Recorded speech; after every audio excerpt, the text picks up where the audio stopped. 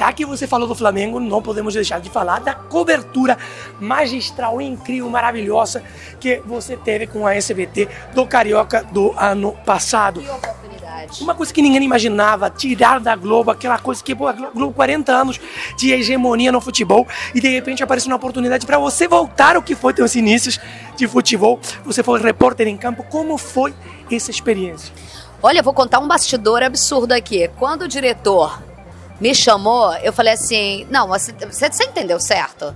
Por que, que eles estão. Olha, a volta do futebol. Era a volta do futebol, né? O futebol tinha ficado parado.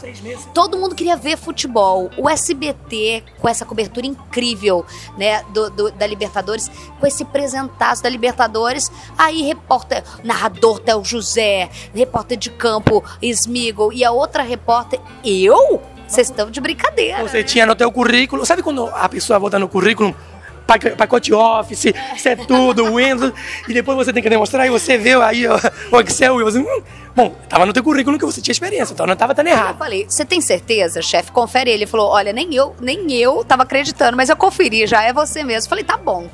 Então, valendo? Valendo. Falei, é, então tá, a gente tem menos de um dia praticamente pra se preparar, porque foi assim.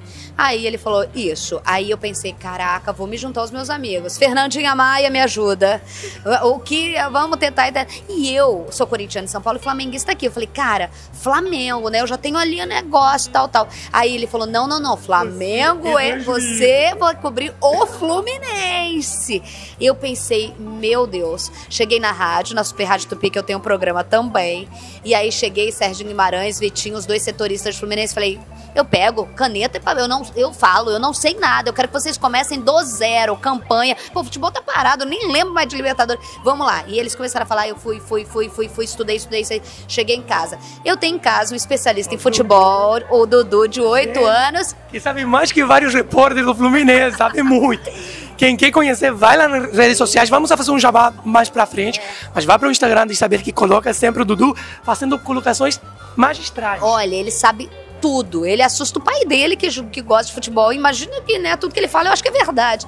Aí cheguei, preparei lá meu discursinho, peguei e falei assim, Dudu, me ajuda. Eu vou cobrir o Fluminense. Ele quase me leva, eu não acredito. E- Imagina, E, começou a falar o nome de um, o nome de outro, o nome de um. E eu falei, caraca, o que, que ele tá falando, gente? Aí sentei comecei a falar. Ele falou, mãe, pera lá, você tá falando tudo certinho.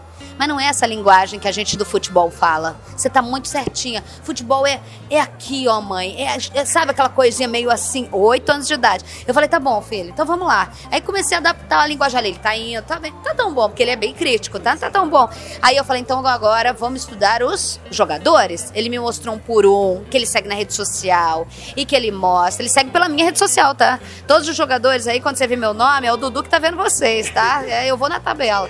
E aí ele foi me falando um por um, tal, tal, tal, tal. Beleza, fiquei craque. Fui pro jogo, amarradona. No jogo, os jogadores entram de máscara.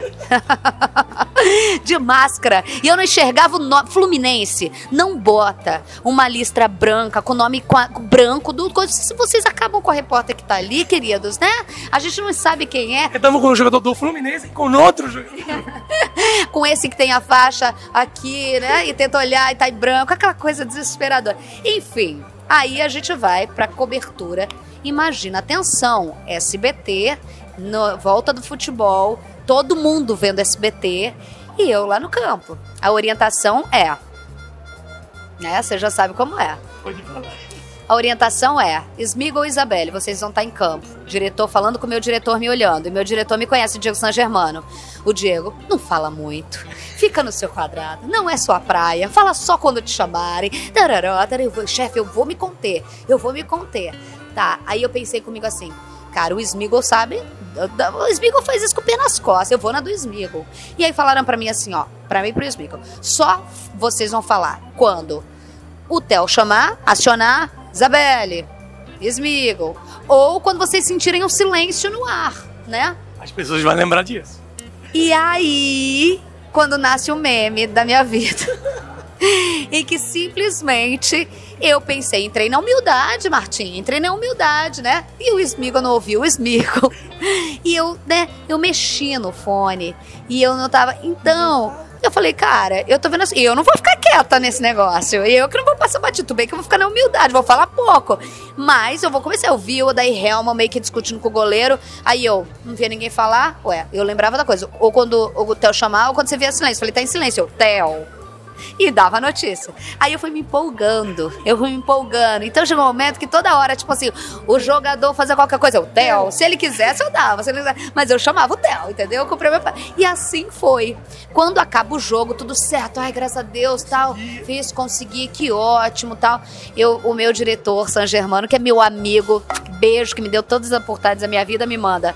Você já entrou no seu Twitter ou na internet agora? Eu. Mas quanto tinha passado? Você já foi ao mesmo tempo. Eu tava no campo ainda. Tava no campo, eu falei, não, me ajuda, porque eu devo entrar ou não? Ele falou assim, não sei.